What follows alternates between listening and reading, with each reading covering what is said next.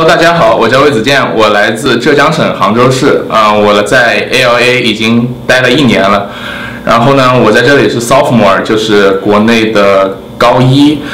然后 Miss Dorman 是我们的嗯国际学生的指导老师，然后他很耐心的解答了我们呃的问题。然后呃每个老师都是非常和蔼的，然后每个同学对我也非常好，没有呃没有什么欺凌现象。然后嗯。然后 ALA 是一所教会学校，呃，里面都是非常善良的人，不管是老师还是同学。